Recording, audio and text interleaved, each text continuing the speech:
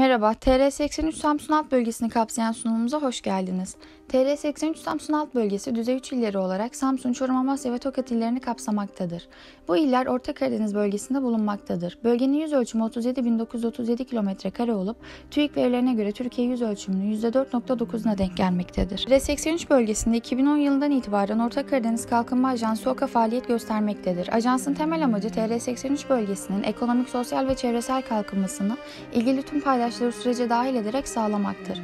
Bu doğrultuda bölgenin mevcut potansiyelini harekete geçirmek ve arttırmak hedeflenmektedir. TR83 bölgesi verimli ovaları ve ekilebilir alanları dolayısıyla tarımsal üretim alanında büyük bir potansiyele sahiptir. Bölgede tahıl, sebze ve meyve üretimi ile endüstri ürünleri öne çıkmaktadır.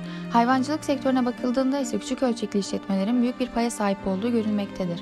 Bununla birlikte Amasya'da besi hayvancılığı, Çorum'da yumurta tavuk, istihdam ve üretim bağlamında öne çıkan örneklerdir. Söz konusu iller şehirleşme oranı, yıllık nüfus artış hızı, toplam istihdam oranı bakımından Türkiye ortalamasının altındadır. Tarım iş kolunda çalışanların toplam istihdam oranı ise Türkiye ortalamasının üstündedir. 18 yılı il bazı istatistiklerine göre TR83 bölgesinin tarım sektörü Türkiye'nin %5.21'ini oluşturarak bu bölgede tarım sektörünün ön plana çıktığını göstermektedir. Bölgede Amasya Üniversitesi, Hitit Üniversitesi, Tokat Gazi Osman Üniversitesi, 19 Mayıs Üniversitesi ve Samsun Üniversitesi'nde yüksek öğretim gerçekleştirilmektedir. 2019 yılı bölge nüfusunun okuryazarlık oranı %97.20 olup Türkiye ortalamasına oldukça yakındır. İllerden Samsun tarımsal potansiyeli yüksek Bafra ve Çarşamba ovalarına sahiptir. Tokat ilinin %45'i dağlıktır ve tarıma elverişlidir. Yeşilırmak'ın geçtiği Tokat ilinde Kelkit Vadisi, Tozanlı Vadisi ve Çekerek Vadisi bulunmaktadır. Tokat ilinin %48'i orman ve fundalıklarla kaplıdır. Ülkemizin sayılı orman bölgelerinden biridir. Hakim sektör tarımdır.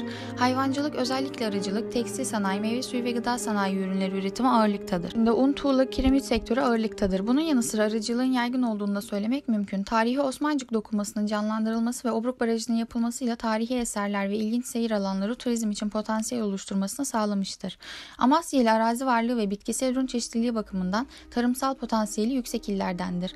Sulama ve tarımsal kalkınma kooperatiflerinin güçlü olması, sanayinin ihtiyaç duyduğu ara elemanları bulundurması Amasya'nın güçlü yönleri olarak karşımıza çıkmaktadır. 83 düzey 2 bölge biriminde sosyal ve ekonomik gelişmeyi sağlamak için yapılan önemli çalışmalar bulunmaktadır. Bunlar Yeşilırmak Havzası'nı geliştirme projesi, Avrupa Birliği destekli kalkınma programları ve Orta Karadeniz Kalkınma Ajansı'nın kurulması ve faaliyette bulunmasıdır. Yeni kurulan üniversitelerin öğretim elemanlarının az olması ve nitelikli genç nüfusun il dışına göç etmesi sebebiyle mesleki eğitim yetersiz olması bir tehdit oluşturmaktadır.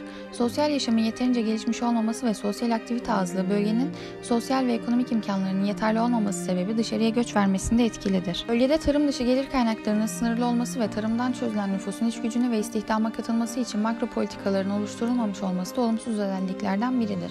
Tarımda örgütlenme ve eğitim eksikliğiyle beraber tarıma dayalı sanayinin yeterince gelişememesi, tarım topraklarının tarımın dışına itilmesi ve ovaların tarla tarımı amacı dışında kullanılmasıyla tehdit oluşturur.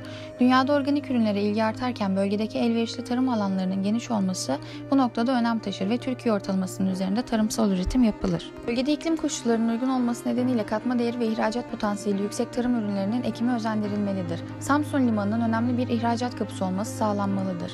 Çok zengin endüstriyel tarımsal ürünler bölgede kurulacak tesislerde işlenmelidir.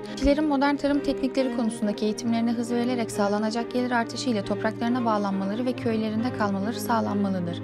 Bölgede mevcut tarihi eserlerin restorasyonu ve doğal güzelliklerinin daha iyi tanıtımı ile turizm sektörü canlandırılmalıdır. Ekonomik, sosyal ve çevresel yönden kalkınmasını sağlamak için gösterilen çabalar dikkate değer olmakla birlikte projelerin ne ölçüde hayata geçirilebildiği, ne ölçüde olumlu sonuçlar alındığı da önemlidir.